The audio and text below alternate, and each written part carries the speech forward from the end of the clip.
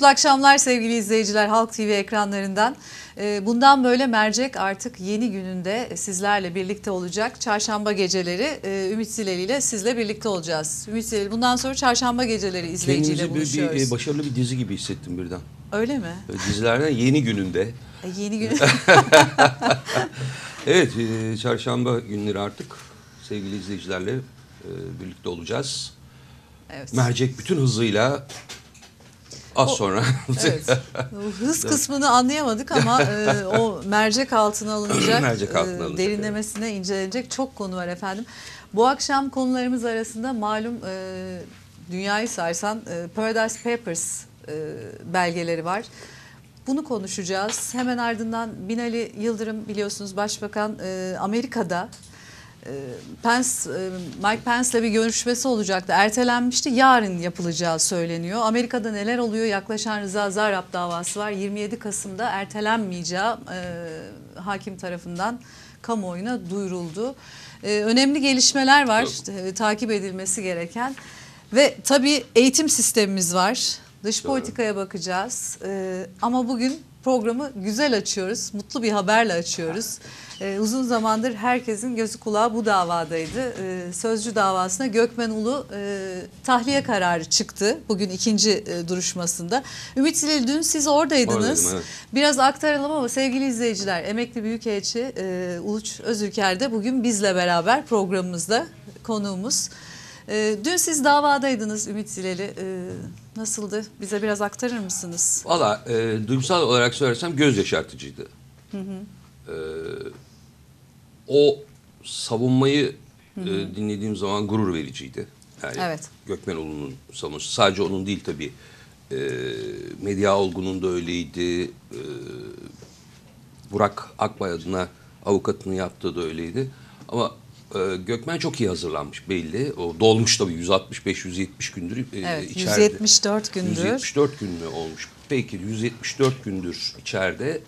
Bir hiç uğruna içeride bir de. Yani Evet. şimdi ben e, bugünkü yazım başlığı da oydu zaten. Trajik bir dava, komik bir iddianame, iki nokta üst üste sözcü operasyon. Bu kadar açık. O kadar açık ve o kadar açık ki e, bu savunmalar yapıldı. Sonra bugün e, tanıklar geldi. Üç tanık da iktidara çok yakın tanıklar. Üçü de bu davanın son derece saçma bir dava olduğunu, sözcüyle FETÖ'yü yan yana getirmenin mümkün olamayacağını gayet açık beyanlarla söylediler. Yani Cem Küçük, Ersoy Dede, Fuat Uğur. Onları da geçtim. Bu adamın adını da Hüseyin Gülerce unutup Hüseyin Gülerce denilen muhterem de bile efendim ben ondan duydum, bundan ettim gibi yani davanın orada düşmesi gerekiyor aslında. E, bir şey, Fehmi Koru var. Evet. Fehmi Koru da efendim ben zaten onu bilmem kaç yıllar önce bana Ertuğrul Akbay söylemişti de ben de öyle bir şey yapmıştım falan gibi böyle bir şeyler geveledi. E, Ertuğrul Akbay e, Allah uzun ömürler versin yaşıyor ortada. Burak Akbay'ın babası Evet. açık açık yazdı gazetede. Ben ben böyle bir şey söylemem mümkün mü? Fe- Fehmi Koru'yla ilgili başka hikayeler de anlattı bu arada. E zaten atfedilen kişi yok böyle bir şey. Ben demedim deyince iş bitiyor. Ne bir belge, ne bir şey, sadece yazılar. Efendim Gökmen e, şeye söyleyin. Bu arada ek yapalım. Fehmi Koru e, zorla getirilme kararına rağmen davaya gelmedi. Bu duruşmaya Yani son ama duruşmaya. o zaten o e, artık o gelecek, gelecek o mecbur gelecek. Yani 7 Ocak'ta mutlaka olacak. Onlar o salona gelmeye e, korktular çünkü.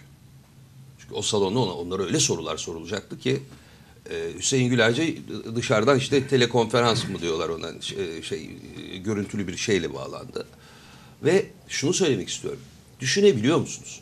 Arkasında üst akılın koca bir istihbarat örgütünün olduğu iddia edilen FETÖ e, darbe girişimi bir gazetecinin e, ilk hedef olan Cumhurbaşkanı'nın nerede olduğunu söylemesine dayanmış. Yani eğer yazmasaymış bizim Gökmen Ulu mesela bunlar bulamayacaklarmış Ya. Cumhurbaşkanı. Halbuki bu da yalan çünkü dört gün önce DHA yani Doğan Haber Ajansı yazmış. Herkes nerede olduğunu biliyor zaten. O da bir şey. Akıncılar da e, davası, Akıncılar üstü davası var biliyorsunuz. En, en ana davalardan biri. Orada krokileriyle F-16'lardan çekilmiş resim fotoğraflarıyla var dosyada. Kırmızıyla da işaretlemişler nerede olduğunu. O uçaktan çekilmiş e, fotoğrafların üzerine. E, bunu getirdi zaten Celal Ülgen avukat, e, Gökmenoğlu'nun avukatı. Da- dava hani ben onu da söyledim. Gökmenoğlu'nun savunması kitapçık haline getirilmeli. E, bu bomboş iddianameyle birlikte hukuk fakültesi öğrencilerine verilmeli. Birinci sınıf öğrencilerine. Böyle iddianame olmaz, savunmada böyle yapılır diye. Çünkü Gökmen tek tek tek tek çürüttü her şeyi. Ve bugün de e, o tanıkların da vallahi biz böyle şey olmaz biz de çok şaşırdık bu saçmalıktır demesinin üzerine e, serbest bırakıldı. Yani e, tutuksuz yargılanmak üzere tahliye edildi ama dava devam ediyor. Dava niye da- devam ediyor? Çünkü bu dava Sözcü gazetesinin üzerinde bir Damokles'in kılıcı. Ve 2019'a kadar da sürdürülmesi muhtemel olan bir dava. Benim gözümde böyle. Ben bir Türkiye Cumhuriyeti yurttaşı ve bir gazeteci olarak bunu böyle görüyorum açıkça söylemem gerekirse. Ha dava devam eder etmez ama başka bir plan vardı. Böyle bir dava yaratılacaktı birileri tarafından. Böylece Sözcü gazetesi e, hem okuyucunun gözünden düşürülecekti hem de e, oraya bir kayyım atamanın yolu açılacaktı. Fakat öylesine saçma sapan bir şey çıktı ki ortaya altını dolduramadılar. Bakın e, biz bunu o ve ha, başlangıç günü çok önemlidir. İlk operasyon günü neydi biliyor musunuz? 19 Mayıs. Ee, şu an Oldu mu? Heh, evet harika. evet s- s- son Evet son dakika e, şu an Gökmen Ulu e, tahliye oluyor. Silivri cezaevinin önünde de e, pek çok kişi var. E, sevgiyle kucaklamak üzere Gökmen Ulu bekliyor. E, biz de buradan yayınlayacağız. E, arkadaşlar eğer hazırsa evet Atilla Sertel'i telefona alalım. Alo. Alo Heh. Sevgili Alo. Atilla. e, Atilla Bey duyabiliyor musunuz bizi? Duyuyorum. Gökmen'in yanındayım. Ben konuşmayayım hiç. Ben hiç konuşmayayım. Tamam. Gökmen'e vereyim. Gökmen sizi selamlasın. Tamam. sevi- çok tamam, seviniriz. Çok seviniriz. E, merhaba. Merhaba. Sevgili Gökmen. Sevgili Merhaba. iyi akşamlar diliyorum. İyi akşamlar. E, bütün Türkiye'yi sevgiyle, saygıyla, hasretle selamlıyorum. Özgürlükte kucaklaşıyoruz şu dakikalarda. Evet, bi- biz de sevgiyle Daha kucaklıyoruz. Ee, Biliyorum, 174 gün sonra esaret bitti. Yeniden e, bizle berabersiniz. Hoş geldiniz diyorum. Sevgili Hoş Gökmen. Çok teşekkür ederim. Sevgili Gökmen, önce seni e, seninle beraber çalışmaktan gurur duyan bir abin olarak e, Ümit Sileli ben bu arada. e, Sen beni göremiyorsun. E, dünkü sa- tam sen bağlandığında bize e, senin savunmanı anlatıyordum. O dedim ki o savunma bir kitapçık yapılmalı. O trajikomik iddianame ile beraber hukuk fakültesi öğrencilerine dağıtılmalı. Ne dersin? Estağfurullah. Bir, e, bir meslek büyüğüm olarak sizden bunu duymak Sağ ol. e, onurlandırıcı ve yüreklendirici. Teşekkür ederim. E, e, umarım Evet. yararı olur bu bakımdan da. Yarar olur. Evet, e, sevgili Gökmen Ulu e, yarın e, Uğur Dündar'la birlikte bu stüdyoda olacak. E, sevgili izleyicilerimizle buluşacaklar. Ben yeniden hoş geldiniz diyorum. Esaret bitti. Yaşasın özgürlük. Yaşasın özgürlük. Yaşasın özgürlük, yaşasın cumhuriyet, Ee, yaşasın adalet, yaşasın demokrasi. Evet. Çok teşekkür Çok ediyoruz. teşekkür ediyoruz. Çok Sağ ol, var ol. Atilla Sertel'e de çok teşekkür Hoş ediyoruz. bulduk. Çok teşekkür ederim. Sağ olun. Alo. Alo. Evet Atilla çok teşekkürler ya. At- a- Rica ederim. Atilla Silivri ederim. Silivri, Silivri e, uzmanı olarak Sözüyle beraber çıktı. Evet biz, Alo. biz de ekrandan Duyuyoruz. görüyoruz. Duyuyoruz Atilla Bey, duyuyoruz. Gökmen e, eşi ve çocuğu, babası, ailesi e, çok mutlu. E, yalnız bir e, şey oldu. Bir şey gördüm. Kınalı kişilerin orada e, serbest bıraktılar jandarma. E, Allah cezaevi önünde bırakırlardı. Şimdi Kınalı cezaevinin önünde bıraktılar. Şimdi araçların e, hareket etmesini istiyorlar buradan. Vah vah vah. E, kor- kor- korku dağları beklermiş sevgili Ee, Atilla. Yani, çok ilginç, çok. Çok ilginç gerçekten. İnsanlar, insanlar, insanlar özgürlüğe susamış. Bunlar hep yasaktan ve e, özgürlüğü kısıtlamaktan yana. Evet ama ama doğrunun ve gerçeğin önünde Evet. hiçbir şey duramıyor Atilla Bey. Evet, evet, evet. evet. Sen, sen de bir sen de Atilla e, bir Jandarma, ben milletvekiliyim. Aile anket gideriyor. Müsaade edin. Olur mu? Müsaade yol, yol herhangi bir sıkıntı yok. Siz cezaevinin önünde bırakmadınız. Biz buraya geldik. Anket Evet. gideriyor lütfen. Evet, sevgili Rica ediyorum izleyiciler. kardeşim, Rica ediyorum lütfen. Rica ediyorum. Tamam. Ora, orada bile engelleme var değil mi? Oldu. Evet canlı canlı bir, Canlı bir canlı buna engellemeyle tanık de oluyoruz. Evet, tanık Canlı canlı oluyoruz tanık oluyoruz buna. Ee, Sevgili Sertel çok teşekkür Evet ediyoruz. Atilla Sertel'e çok teşekkür ediyoruz. Bu güzel buluşma anına bizle birlikte tanıklık etti. Efendim biraz yayın esnasında sesler gitti geldi ama sürçülisan ettiysek affola. Ay, Bizim için büyük bir anı mutluluk çünkü bu ana olan tanıklık şeyler etmek. çünkü. Evet. E, şu anda da ekranda canlı canlı veriyoruz. Az önce de. Atilla Sertel'in de dediği gibi. gazetecilerin gazetecilik faaliyeti nedeniyle tutuklanması ve gazetelerin baskı altına alınması o ülkede adalet ve demokrasinin can çekiştiğinin en bariz göstergesi. Ee, Türkiye'nin bu utançtan kurtulması gerekiyor. Bu yarayı sarması gerekiyor. Özellikle e, bizim davamız, sözcü davası Türkiye'nin vicdanını yaraladı. Bu bakımdan da şimdi bu vicdanın e, yaralayan e, hasarları gidermek gerekir e, bir e, anlamda. Yani şunu şöyle toparlayıp söyleyeyim ben. E, şimdi dosyayla birlikte bu yaraları kapatmak gerekir. Onu bekliyoruz, onu umuyoruz. E, bunun yanı sıra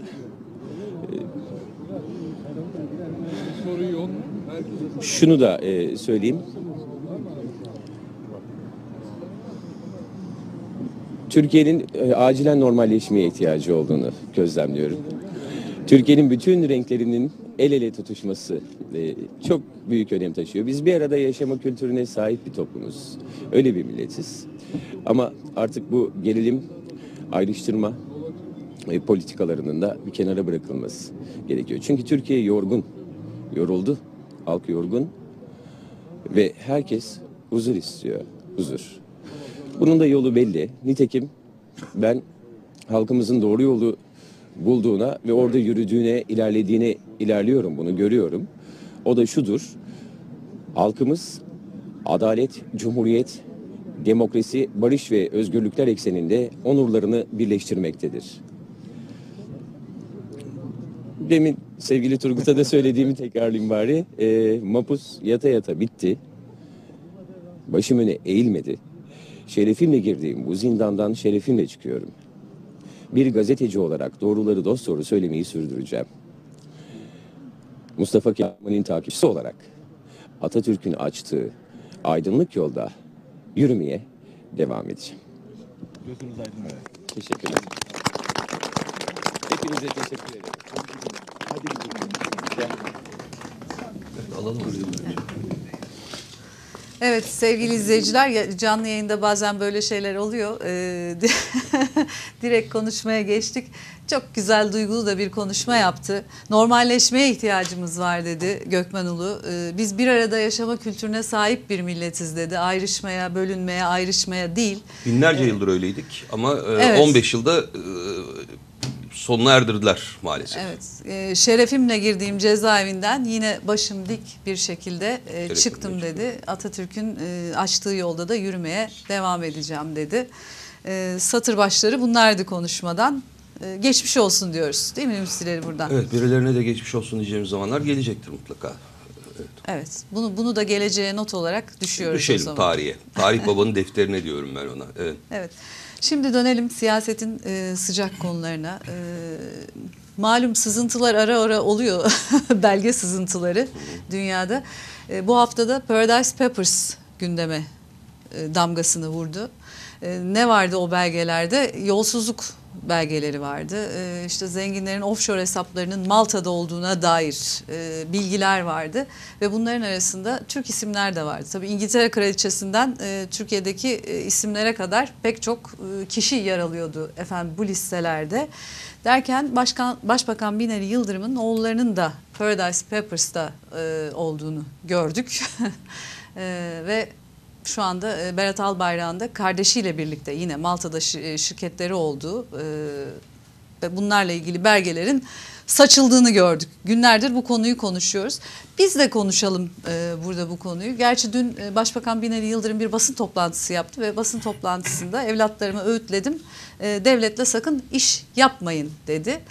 E, Ama öyle olmadı ortaya Evet, çıktı. öyle olmadığı bugün e, Cumhuriyet Gazetesi'nin nidasıyla yayınlanan belgede Evet, yani ortaya orada çıktı. kurulan e, Nova e, isimli şirketin e, tabii bu biraz da matruşka bebeklerine benziyor. Şirket içi şirket olarak yürüyen. E, önce yalnız bunu söylemeden önce şunu söyleyeyim. Herkes kıyı bankacılığının ne olduğunu bilmeyebilir. Yani offshore'un ya onun da Türkçesi kıyı bankacılığı bunun ne demek olduğunu bilmeyebilir. Bize bir anlatın Çok ülkeleri. kısaca anlatayım. Ben de bir ekonomist değilim. Ben bir gazeteci olarak öğrendiğimi aktarayım size. Kıyı bankacılığı buz gibi düpedüz vergiden kaçmak için e, oluşturulmuş olan bir mekanizma. Nokta. Var mı başka bir... e, Efendim ben OECD'de görev yaptım. OECD'de görev yaptığım sırada e, önemli konulardan biri de budur. Türkiye'de MASAK'ta bu çerçeve içinde işin içindedir ve de yakın takip altında tutar. Evvela müsaade ederseniz buraya geçmeden evvel biraz da belki konuyla ilgili olarak içimde kalmasın diye söylüyorum. Buyurun Büyükelçim. Aslında bütün bu olan bitenler e, çok konuşuldu tabii ama iki aşamada olarak düşünülmesi lazım. Birinci aşama e, Avrupa Birliği'ni bir e, şapka olarak kullanmak suretiyle 28 Şubat'ın intikamının ordudan alınması, ordunun zayıflatılması operasyonudur. Daha güzel anlatılamazdı. evet ikinci sefer. Bu şekilde yapılmıştır. İkincisi de 15 Temmuz'un bu sefer bütün muhaliflerin ve muhalif seslerin susturulması için atılmış olan OHAL ile birlikte atılmış olan yeni bir e, susturma operasyonu olduğunu düşünmek lazım. Yani böylece iki şey var. Birincisi Balyoz e, Ergenekon diye bir taraftan gitti. Şimdi ikincisi de bu davalar. Evet. Ne birincisinde ne ikincisinde herhangi bir şekilde ispat e, yoluna gidilememiştir. Her ikisinde de boştu. Hatta o kadar ki e, kendini kabul ettirebilmek için iddianamelere bir sürü yalan olmamış şeyler de konuldu. Gizli tanıklar E, konuldu. tabii neler? Mesela e, olmayan bir kişiyi orada olmuş gibi göstermeye varıncaya kadar. Aynen. E, bu e, sonuç itibariyle bir taktiktir efendim. Bütün e, böyle biraz daha sert e, yönetilen ülkeleri itibariyle ben yurt dışında yaşarken bunları değişik ülkelerde gördüm. E, bir e, suçlamayla yola çıkarsınız. Bu suçlamayı e, ispat mükellefiyeti kimindir? İddia- bulunanın. tabii. İddia, Ama orada öyle olmaz. iddia makamı öyle, öyle olmaz. Bu suç isnat edilir ve arkasından siz bunu nasıl temizlerim diye onun peşine düşersiniz. O arada hem zaman kaybedersiniz hem prestij kaybedersiniz hem de aynı zamanda yaptığınız işi de kaybedersiniz. Çünkü o arada kesintiye uğradığı için tekrar iadeten geriye alınması da çoğu kez Mümkün olmaz. pek mümkün olmaz. Bugün Türkiye'de binler ve binlerle insan e, işsiz güçsüz e, herhangi bir şekilde bir iş bulamayacak şekilde e, damgalanmış olarak etrafta dolaşıyor. Şimdi e, eğer bir ülkede medya hür değilse, bunlar 40 yıllık bir tecrübemle söylüyorum, yaşadığım ülkelere de bakarak, bir medya hür değilse o ülkede sadece parlamentolar marifetiyle denetim yapılabilme ihtimal ve şansı yoktur. Mümkün değil. Dolayısıyla e, durduğu yerde ifade özgürlüğü, basın özgürlüğü vesaire bütün bunlar zembille yukarıdan inmemiştir. Unutmayın ki 1776'dır İnsan Hakları Beyannamesi'nde ilk bunlara yer verilmesi Amerika'da. Evet. Ondan sonra da Fransız ihtilaliyle birlikte ikinci adım olarak orada da İnsan Hakları Evrensel Beyannamesi'nin temelleri atılmıştır. Bugün Türkiye Cumhuriyeti Avrupa Konseyi'nin üyesidir. Bütün bunların altında imzası var. Hepsi aldı. Artı başka bir şey daha var. Biz Avrupa Birliği ile müzakereye başladığımız zaman hep bağırıp çağırıyoruz etrafta. Ee, 2004 yılında evvela Avrupa Konseyi'nde Türkiye üzerindeki denetim kaldırıldı. Gözetim ve denetim altındaydık 95-96'dan itibaren. O kaldırıldı. Ondan sonra müzakereye başlayabildik. Şimdi Avrupa Birliği ile müzakereden bahsediyoruz ama Avrupa Konseyi e, Venedik Komisyonu raporuna da dayalı olarak yeniden Türkiye'yi gözetim altına almış bulunmaktadır. Dolayısıyla zaten isteseniz de hukuken Avrupa Birliği yönünden baktığınız zaman Kopenhag kriterlerine uyum sağlayamamış bir ülke konumunda bulunduğunuz için Zaten bu hiçbir şey mücadeleyi yapamazsınız. yapamazsınız. Şimdi dolayısıyla çok yönlü olarak sizin ihlaliniz var. Bu sadece iç hukuk açısından değil, aynı zamanda uluslararası hukuk bakımından ki anayasamıza göre hala o anayasayla devam ediyoruz. 2019 gelmedi. Uluslararası hukuk, ulusal hukukun önünde gelir. Dolayısıyla bu gazetecilerle ilgili olarak atılan adam, adımların hepsi aslında hukuk ihlalidir baştan aşağı. Bunu herkes de biliyor. Biraz sonra konuşacağız herhalde. Sayın Başbakanımız da Amerika'ya gitti. Aslında çok basit şekliyle Türkiye'nin bu yaptığı ve yapmadığı ne varsa bunlar dışarıda bizden çok daha iyi izleniyor. Ve Türkiye Herkes bu manada gayet iyi. iyiden iyiye köşeye sıkıştırılmış vaziyettedir. Hatta o kadar ki bugün çok e, ilginç bir e, gelmeden evvel buraya açıklama dinledim. E, yani hangi kanalı söylemeyeyim şey olarak e, bir yorum yaptılar. E, Cumhurbaşkanımız işte beton beton beton falan söyledikten sonra e, birçok şeyler de tabii söyledi o arada. E, kendini muhalefete alıştırıyor dediler. Bu da tabiatıyla biraz e, bir espri konusuydu ama ilginçti. Türkiye her halükarda bu şekilde bir yere gidemez. Bir yerlerden düğmeye basılmış vaziyettedir ve genel anlamda üzerimize geliyorlar. Rusya iki gündür Putin'in sözcüsü makale yazıyor. Makalelerin temeli, özü çok net bir biçimde e, Sayın Erdoğan'a Putin ciddi şekilde Amerika konusunda çok ciddiye alması gereken bir noktada bulunduğuna dair sorunların defaten uyardı diyor. Net bir biçimde bunu yazıyor. Yani başka bir deyişle adım adım burada Türkiye'yi köşeye sıkıştırma operasyonu Sürdür. başlatılmış ve sürdürülmektedir. Peki ben size bir şey sormak istiyorum. Bunu Bağım. niye söyledim biliyor musunuz? Yani tabii bir şey olarak. Bunlarla ilişkilendirerek tabii. Hani bırakıyorum is- yani israf mah- mahkemesi işte falan o saçma sapan şeyler. Alt mahkeme bir şey diyor öbür böyle karma karışık birbirine Çünkü düşmüş. altı vaziyette. doldurulamayacak o kadar Tabii. saçma sapan şey var. Yani olmuyor. Sistem de Ama sıkışıyor. bu bırakmalar, Olmayan sistem de bu sıkışıyor. hürriyet e, olarak yani ben gene de davada devam ettiği sürece bunun anlamsız olduğunu düşünüyorum. Çok şükür ki dışarıdalar ama demokrasinin kılıcı dediniz çok haklısınız.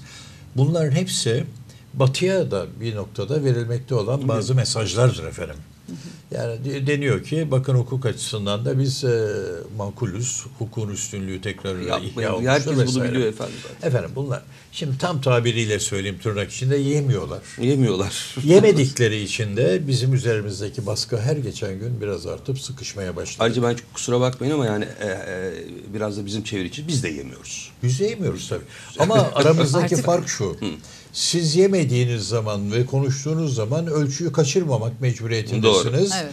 İkincisi de her halvekarda söylemiş olduğunuz şeylerin etkili olabilme şansı sınırlı. Doğru. Yukarıdan bir emir verdiği zaman oluyor ama siz bağırıp çağırdığınız zaman sadece o bir destek teşkil ediyor. Ama dışarıdan baskı başka bir boyuta geldiği zaman bu rahatsızlık doğuruyor. Şimdi her elbekarda şunu unutmayın. Cumhurbaşkanımıza gazeteciler gene soru sorabildiler. Dediler ki Batı'da konu nedir? Vallahi üç tane konu var dedi. Recep nokta, Tayyip nokta, Erdoğan nokta dedi. Ondan sonra e, Güzel. peki nasıl olacak dediler bunun çözümü. Çok pis kokular gelmeye başladı burnuma dedi. Bu pis kokuları Putin'in sözcüsü makalesinde net bir biçimde e, hakikaten çok ileri giden bir durum var. Dolayısıyla kendi dikkatli ol dediler. Şimdi gidiyor zaten. Başbakan 13'ünde. gitti. Evet. Niye gitti durduğu yerde? E, Yok ne Trump var ne bir şey var. Hiçbir şey yok. Rex Tillerson zaten beraber. Evet. de zaten böyle bir tutum olması şey Dışişleri Bakanı yok, Savunma Bakanı yok. Ve bizim burada konuşacağımız konuların hiçbirinin çözümü yok Amerika indinde. E peki niye gitti? Bakalım göreceğiz. Bir zamanlar bir at pazarlığı e, lafları yani dolaşırdı. biraz bu biraz pazarlığa zaman. gittik galiba ama o pazarlık e, zannediyorum gene hani eskiden bir parmak bal çalıyorlardı ağzımıza e, aksini yaparken ikircikli oynuyorlardı tabii. Şimdi iki parmak e, bal çalacaklar. Ama yine bildiklerini okuyacaklar. Peki ben size arada bir şey biz de Rusya'ya gidiyoruz ve alternatifim 13, evet. var benim diyebilmek için. Bundan da eminim. Kuveyt'e gidişte bunun bir sonucudur Tabii. Sayın Büyükelçim ağzımıza bal çalmak yerine biber de sürebilirler tüm bunların sonucunda. E, zaten Zaten Evet. o ne? 27, Evet. 27 Kasım'da biraz evvel siz söylediniz e, belgelerle ilgili Sarı olarak. davası. 17-25 Aralık'taki belgelerden çok büyük alıntılar olduğunu da yabancı basını okuyarak söylüyorum Aynen. ben. Çok büyük alıntılar var oradan. Evet. Ve şu düşünceyle hareket etmişler. Bu da çok net o belgelerle ilgili. Bu Wikileaks konusunda da Türkiye'de bir şey olmadı netice itibariyle. Çünkü biz e, vurdum duymaz bir baskı yok o konuda. Şimdi efendim e, her halvekarda e, uzun süre bir arada yaşamış olan iktidarla birlikte e, FETÖ'cülerin herhalde ellerinde diğer taraf için de zamanı geldiğinde kullanabilirim düşüncesiyle bir takım şeyleri saklı tutmadıklarını iddia etmek mümkün değildir diyorlar. Kesinlikle. Dolayısıyla 17-25 Aralık tarihinde ortaya çıkan durum aslında geçerlidir. Belki de çok düşük seviyede geçerlidir. Daha da fazlası var. İlk etapta böyle bir şey yapıldı. Dört bakanımızın e, harcanması suretiyle e, üstesinden gelinebileceği düşünüldü. Evet. Böyle bir e, ya böyle yazıyorlar. Ben söylemiyorum. Bu- bu- Bütün yorumcular. Şimdi mevcut, mevcut koşullarda Zarap'la bir pazarlığa oturmuşlar. O pazarlıkta Zarrab'ın görün, görünen siz ne düşünüyorsunuz diye göründüğü kadarıyla e, sarraf ben sarraf diyorum artık bu zarraf sarraf yani Rıza Reza bu adam madem Türk vatandaşı olmuş Rıza Sarraf yani öyle diyelim. Bu Rıza Sarraf'ın itirafçı Ama gerçek olmuş. bir sarraf. Ol, çok. e, itirafçı olmuş olması meselesinin artık gerçeği çok yakın olduğu. Hem ce- Amerika'da cezayı indirme taahhüdünde cezayı, cezayı hatta cezayı çekmeme taahhüdü belki de. Ta- ve oraya kadar Oraya da gidebilir. kadar da gidebilir. Söyleyeceklerine bağlı olarak. Aynen e, ve zaten kara kutu o. Kara kutu. Evet. Kara kutu o. Onun için ve e, çok enteresan bir şekilde ben de tabii takip ediyorum mesleğim nedeniyle. E, baktığım zaman yorumlara ve e, haberlere Sarraf e, geçen davaya da katılmadı. Hayır. O da çok dikkat çekici. Katılmadı. Hatta e, bu davaya bile böyle e, katılması ile ilgili ama hakimin kesin talimatı var. Hayır bu dava resmen başlayacak 27 Kasım'da diye. Avukatlar e, kendilerinin yapmış olması gereken e, savunma şeyini de hazırlayıp vermediler. Bu da ilk defa görülen bir şey diyor şey tarafı, savcılık tarafı. Veremediler or- daha doğrusu. Veremediler mi yoksa bilinçli olarak vermeyip e, başka bir pazarlık yolu mu açmak istediler onları bilemiyorum. e, Verdikleri yani şöyle diyeyim. E, e, sarrafı her halvekarda kurtaramayacakları nettir. E, olabildiği kadar cezayı hafifletmek yoluna gideceklerdi ama Amerikan sisteminde itirafçı olduğunuz zaman e, E, yol- bazı çok- avantajlar tabii. Çok yollar başka türlü gidebiliyor. Onu ikna edebilme sorunuydu. Peki e, Sayın Özülker ben şunu öğrenmek istiyorum. Çok merakımdan aslında. Evet. Başbakan e, aslında dün akşam, buranın saatiyle dün akşam tabii ama orada gündüz vakti e, Mike Pence, e, Mike Pence'le ayrıca anlatmak lazım unutmayalım. E, ve aslında başkan yardımcılığı Amerika'da bir simgedir. E, çok fazla bir e, geçerli yoktur ama başkana bir şey olması durumda ya da başkanın görevden alınması, azledilmesi vesaire gibi durumlarda başkanın yerine geçecek olan Johnson kişi. böyle gelmiştir mesela. Evet. Kennedy'den sonra. Aynen bravo. Ee, şimdi tabii Johnson öyle gelmiştir. Ee, Bir de seçildi arkasından. tekrar. arkasından da seçilmiştir. Şimdi şunu öğrenmek istiyorum. Böylesine bir simge isimli sadece 40 dakika olarak belirlenmiş bir görüşme için kalkıp Ankara'dan Amerika'ya gitmek ne derece doğrudur? Bu bir. Ve böyle simge bir isimli. İki, yolda giderken haber geliyor ve Amerika tarafının isteğiyle dün Evet. akşam olması gereken görüşme Erteleniyor. e, 9 Kasım'a alınıyor. Bir diplomat olarak bunu nasıl açıklarsınız bize? Ben hiç görmedim çünkü. bir şey. Türkiye'ye karşı ciddi bir saygısızlıktır Heh, her şeyden bravo. evvel. Yani oradan başlamak lazım. Daha fazlasını söylemek istemem. Ama her halükarda şöyle. e, burada üç tane çok büyük terbiyesizlik var aslında. Nedir Biri- efendim onlar? Birincisi e, Trump yurt dışındayken böyle bir ziyaretin yapılmış olması e, bence doğru değildir. Çünkü sonuç itibariyle unutmayın ki dış politika konusunda da Trump ne kadar çılgın, ne kadar e, esnek, e, güvenilemez bir konumda olmuş olsa dahi yani oradaki establishment, e, e, oradaki kurulu düzen nedeniyle herhangi bir etkinliği olamamasına rağmen başkandır sonuç itibariyle ve nihai kararı verecek olan da Trump'tır. Ve yanında Dolayısıyla- üstelik Dışişleri Bakanı ve Savunma Bakanı da yok. Yani Hiçbiri yok. sıra. Ve e, Trump yokken orada e, siz oraya gidiyorsunuz bu bir.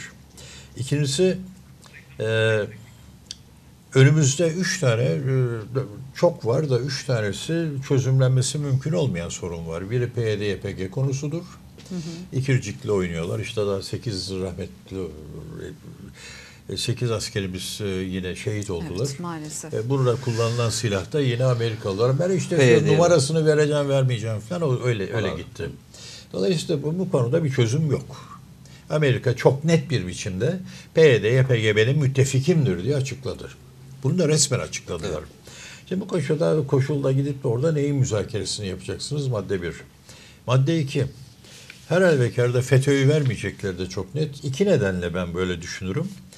Birincisi her halükarda ben e, 15 Temmuz'un da bir e, CIA darbesi olduğu hususunda endişe duymuyorum. Yani e, orada çok ciddi destek. Ama başka bir şeyi hatırlatmak isterim ben size. Şimdi efendim 1960 darbesinden sonra Türkiye'de e, Küba krizini yaşadık biz Domuzlar 1962-63'te. Körfezi ve 64'te de Johnson. Yani Amerika ile Türkiye arasındaki ilişkiler ambargoda yedik 74'ten sonra. Hep e, gider gelir. Öyle gerçek anlamda bir yere oturmuş değildir. Ama hadise şu. Türk milleti e, Stalin'in beklentileri hilafına komünist olmamıştır. İki nedeni var diye bunu Amerikalılar e, ortaya atmışlardı. Birincisi Moskov korkusu. Yani Çok e, uzun çok yüzyıllara uzun dayanan. yıllar, iki, yani 150 yıl savaş ve Hep bir kuru, yenilmişiz kuru gene. tarih hep e, ızdırap. İkincisi de muhafazakarlığımız. Her üç kişiden ikisi muhafazakardır Türkiye'de. Yani dindardır bu manada ve Müslümanlıkla komünizmi bir arada götürmek de mümkün değildir. Dolayısıyla Türkiye Müslüman olmuyor. Fakat e, 1961 Anayasası fevkalade liberal bir anayasaydı ve Türkiye'de sol kesimde hareket halindeydi.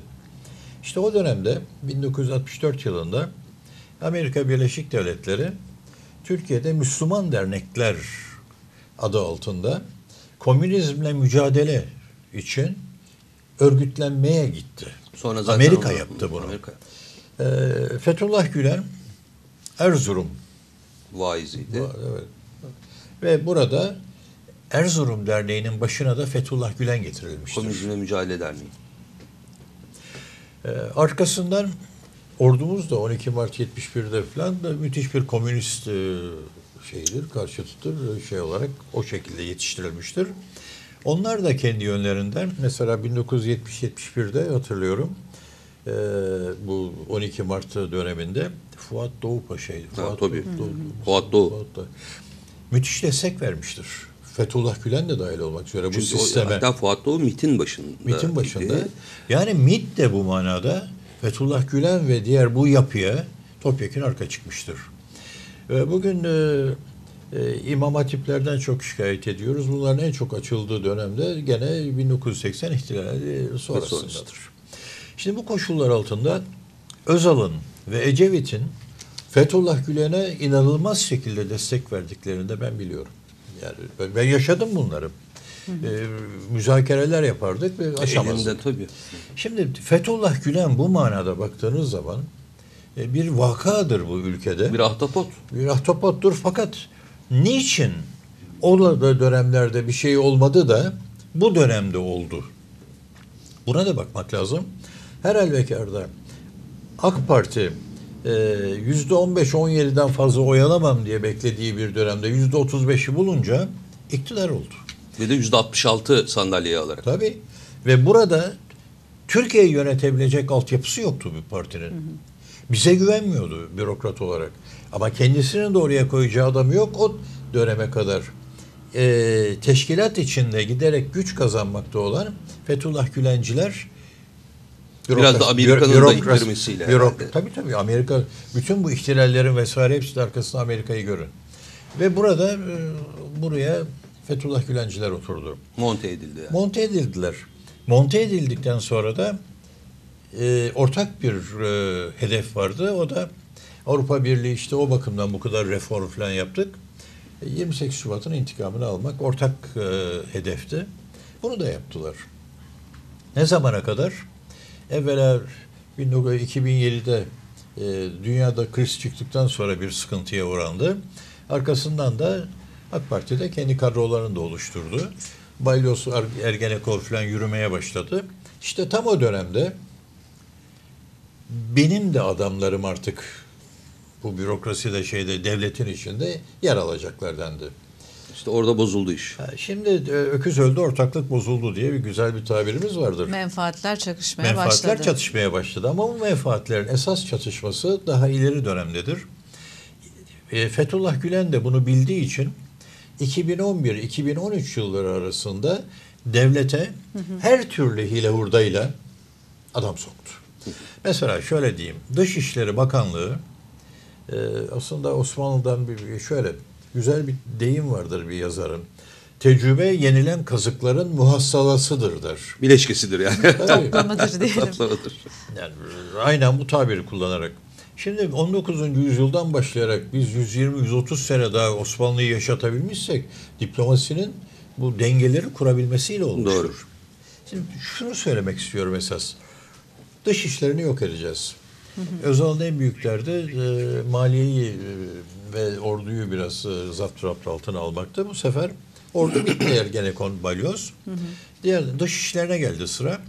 Efendim e, sınavsız vesaire bir e, sözlü sınav yaptılar sözümünü. 600 kişi aldılar 3 yılda. Sadece mülakatla. Sadece bu mülakat. kadar insan Yani oldu. yazılı yapıyorlar ama laf ola beri gele. Sebebi de çok basit.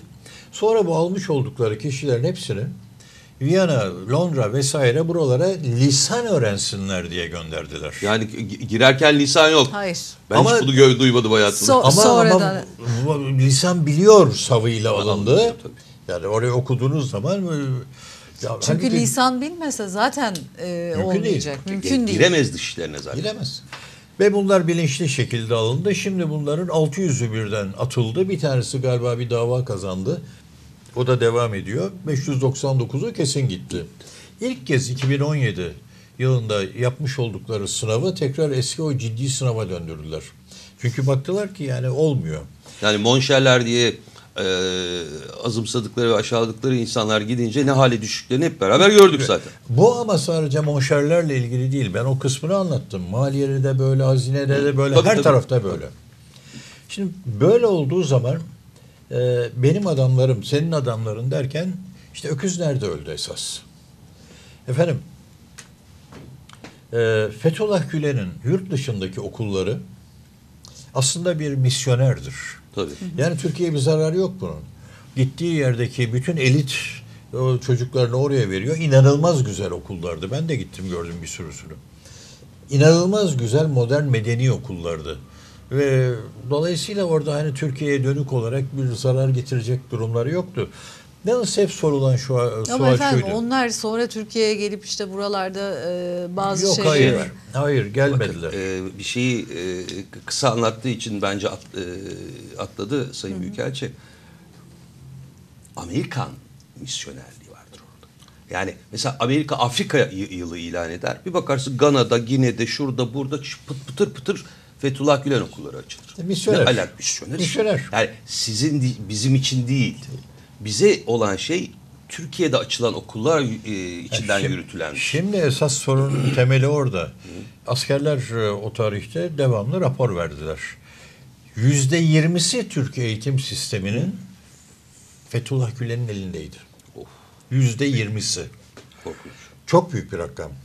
Bu e, okullar, e, Beşte bir çok Dershaneler. büyük. dershaneler çok ve yüzde yirmi çok büyük ve bu sayı süratle artıyordu Çünkü ellerinde çok büyük bir finans imkanı vardı. Bu finansmanı da dışarıdan alıyorlardı. Kendilerinin burada e, işte bu sistemler, Asya Bank bilmem ne e, Bir de toplanan kimse paralarla gitmez. efendim. Kimse sormuyor. Sen bu kadar okulu e, nerede, hangi parayla açıyorsun? Evet. Dünyanın bilmem 200, 300, 400 okulu sen neyle açıyorsun? Ve hangi... e, Finansmanın ne? Kaynağın ne? Sadece Nereden finansman da geliyor? değil. Hangi ideolojinle, hangi, yani sen gidip bir Türkistan'da açıyorsun, Moskova'da açıyorsun, dönüyorsun Gana'da, Gine'de yani Türkiye gidiyorsun Cumhuriyetler'de açıyorsun, Şeyde Afrika'da açıyorsun, açıyorsun, Kuzey Irak'ta Afrika'da. Türkiye'de her şeyden evvel. O Bu Türkiye'de eğitim açtıkları sistemini bu zaten- kadar nasıl, hangi parayla ele geçirdi? Ele geçiriyorsun, evet. Şimdi efendim bu noktada e, tabii aslında da Sayın Cumhurbaşkanı'nın bunları bilmemesi mümkün değil. E, ve yüzde yirmilik Türkiye'deki o da finans kaynağını kestiler. Neden? Çünkü cevap vermiyordu. Fethullah Gülen e, ortaklığı bozmuştu, açmıyordu kadroları. Onun üzerine e, kestiler kaynağı. Kaynağı kesince de 17-25 Aralık'taki belgeler ortaya çıkıverdi ve bugüne kadar geldik. Şimdi e, 15 Temmuz'da bir e, vesile olarak e, burada görüldü. Oradan da o halden derken gitti. Şu anda on- 17 aydır o halle yönetilen O halde. bölgedeyiz. Yalnız şöyle bir şey söyleyeyim şimdi. e, hani daha e, şey objektif olabilmek babında. Fransa'da da o hal vardı. Şimdi onun yerine kaldırdılar o hali. Bir kanun getirdiler. O kanun fevkalade. Yani o hali birkaç defa geçen ama daha da vahimi bir kanun olduğu için artık geçici değil. Müsaadeye bağlı değil. Kesinleşmiş duruma gelmiş bir e, antiterör yasası, Yasası. haline geldi. Şimdi burada bir şey daha söylemek istiyorum. Yani ikirciklilik sadece de tek boyutlu değil. Ee, Fransa bize diğer ülkelerle birlikte e, efendim bu vizeler vesaire işte göç meselesiyle ilgili olarak karşı çıkıyor. Yapamazsın.